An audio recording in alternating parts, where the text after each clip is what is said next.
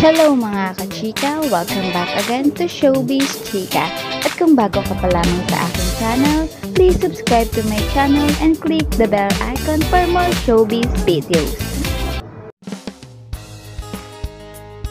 Grabe nga ang naging reaksyon ng mga showbiz friends ni Andrea Torres sa dalawang larawang ipinost niya sa kaniyang Instagram account nitong Huwebes, February 19 kung saan super sexy siya sa kaniyang one-piece bodysuit at hindi maamo ang mukha niya kundi mukhang palaban.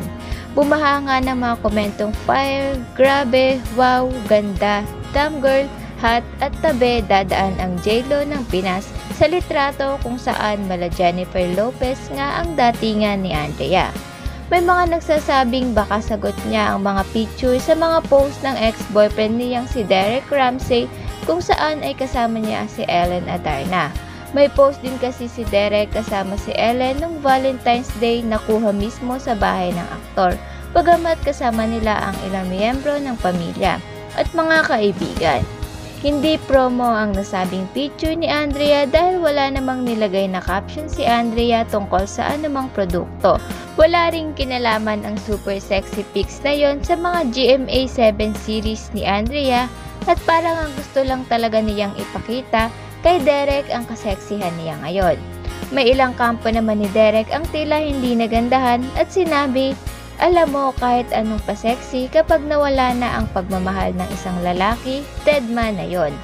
Anyway, sa May pa daw ang worldwide premiere ng Legal Wives dahil gusto ng GMA7 na tapos na ang lock-in taping bago isa lang for airing para na rin daw pulido ang cultural drama lalo na't may ilang taong nag-iingay na sa project na ito ng Kapuso Network.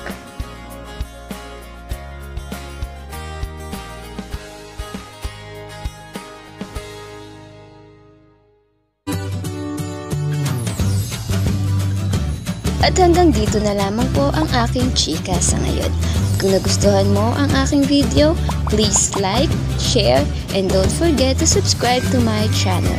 Maraming salamat po sa inyong panonood.